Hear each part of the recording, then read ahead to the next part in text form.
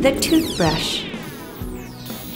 Dental care can be traced back to the Egyptian civilization as they had an obsession with white teeth. The Romans used to rub their teeth with a slightly rough, thin linen cloth.